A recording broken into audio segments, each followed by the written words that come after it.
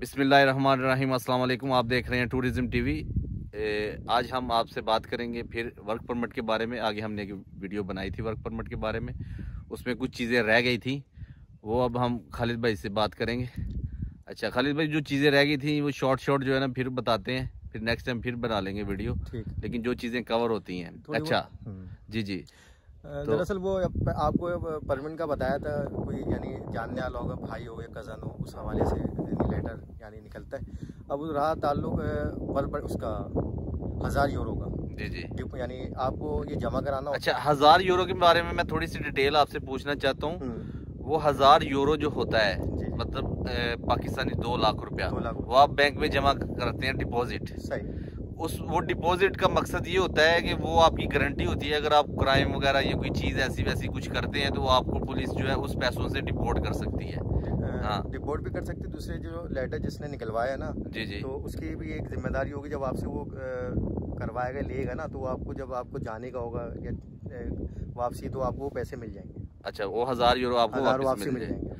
अच्छा तो कुछ जगह ऐसी होती हैं जिधर मालिक जो है ना वो पैसे जमा करवाते हैं। कुछ जगह हैं वो नसीब कह सकते हैं आपका ना कि आप कहीं पे नहीं होते हैं और नॉर्मली तकरीबन सब जगह होते हैं। अच्छा सब जगह मतलब कि हज़ार यूरो जमा होते हैं। हज़ार यूरो जमा होते हैं। वो आपके ही होते हैं बाद में जब आपका होगा इरादा जाने का तो वो आपको मिल जाएँगे। सही है सही है।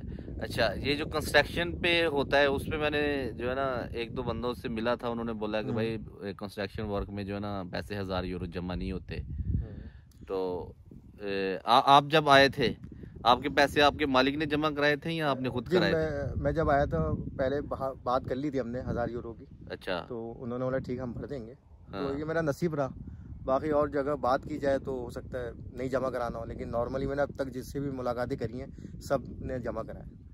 अच्छा हज़ार यूरो जमा कराए हाँ। वो बाद अच्छा, में मिल अच्छा। जाते हैं लोगों को मिले हैं। हाँ, कोई दो साल बाद गए कोई तीन साल बाद गए हम्म। इरादा चेंज कर लिया नहीं अब घर जाना है तो उसमें मिल गया। अच्छा अच्छा अच्छा।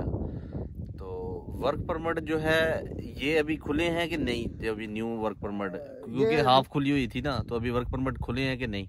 अभी तो नहीं खुले वही मैंने आपको बताया था पहले भी और क्योंकि जान पहचान से ना क्योंकि जो जो जहाँ काम कर रहा होता है उसे पता होता है वो बात कर लेता है। तो लेटर के हवाले से यानी लेबर की किस यानी ज़रूरत है हुनर के हवाले से। तो वहाँ से लेटर निकल जाता है इसी तरह जैसे मैंने पहले बताया था। अच्छा अच्छा। वैसे मतलब अभी वर्क परमिट साइप्रस के खुल गए हैं मिलना शुरू हो गए हैं हाँ, स्टार्ट चल रहा हो। गया जैसे जहाँ जिसको ज़रूरत है हाँ, हाँ। वहाँ मिल रहा है।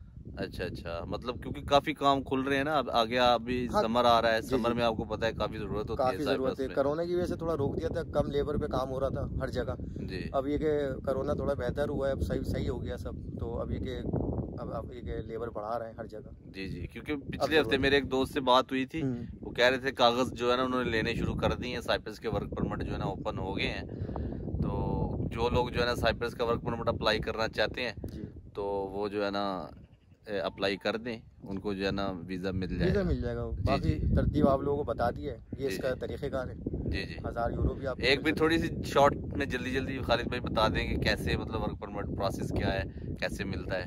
अगर जिन लोगों ने वीडियो वो नहीं देखी हुई इस वीडियो से भी थोड़ा सा बहुत हाँ यहाँ पे देखे ना एक तो एजेंट भी होते हैं यहाँ पे जो बुलवाते हैं ना उनके भी ज़ाहिर पैसे होते हैं जो लेते हैं। तो वो उनके लिए भी यानी आसान है। वो आपको बुलवा सकते हैं। मैंने आपको जैसे पहले बताया था पाँच से साढ़े पाँच लाख लगते हैं हाँ, हाँ। टोटल।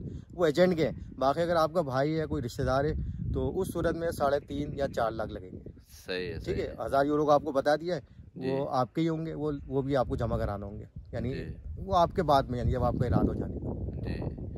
चलें जी इंशाल्लाह अगर हमें मज़ीद कोई इन्फॉर्मेशन मिली कोई एजेंसी या कोई कॉन्ट्रैक्ट कोई चीज़ मिली तो हम ज़रूर शेयर करेंगे इस पर अगर कोई काम कराते हुए तो। करना थी और इस पे साथ लगा दूँगी बाद में इसके बात करेंगे गुफ्तु दरअसल अभी परमिट का आपको बताया आने के लिए फिर आपके वाइफ का आपके बच्चों का आपकी फैमिली का वो कैसे होगा फिर इसके बाद आपको बताएँगे। जी चले उम्मीद है जी आपको आज की हमारी ये वीडियो पसंद आई होगी। तो इन फिर मिलते हैं नेक्स्ट वीडियो में। चैनल को सब्सक्राइब कीजिएगा। तो अल्लाह हाफिज़।